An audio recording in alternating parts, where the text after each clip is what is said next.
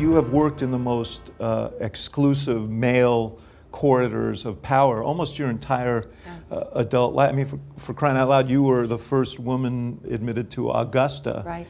uh, the most exalted male uh, preserve. Have you been exposed to uh, harassment over the years?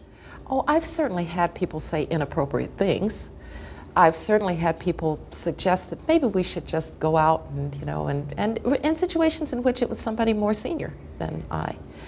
Um, and I, have never faced a quid pro quo, an explicit quid pro quo. Um, I've never had anyone do anything that I would consider assault. Uh, but I don't know a woman alive who hasn't had somebody say or do something that was uh, inappropriate at best and aggressive at worst.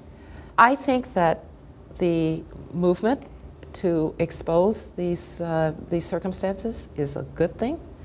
Uh, let's clear the air about it.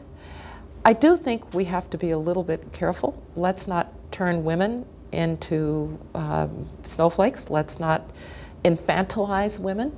And what I really don't want to happen is I don't want it to get to a place that uh, men start to think, well, maybe it's just better not to have women around. I've heard a little bit of that, and it, it worries me. Uh, some. Did you see Oprah's speech at the I uh, did. Golden I? I read it. I read it. Um, you, you know, over the years, your name always comes up. Why doesn't Condoleezza Rice run for president? Why doesn't she run Yeah. for vice president? You never have. No, and Uh, never will. And why is that? Because you have to know your own DNA. And I've been around the process enough to know that I love policy, I don't love politics. And uh, to think that there are other ways, better ways for me to do public service. So, what's your advice to Oprah, who's now the subject of a frantic draft effort? Well, I would say uh, to Oprah, be sure that you really want to be a politician.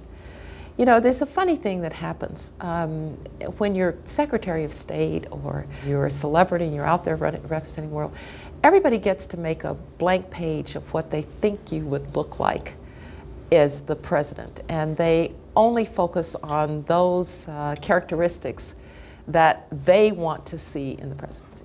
Now you're running for office. And all of a sudden, you're not that person who's just a blank sheet of paper. But I would just say if you're con contemplating running for office, um, just recognize that we put people through a brutal process. Yeah. And they don't come out quite the same.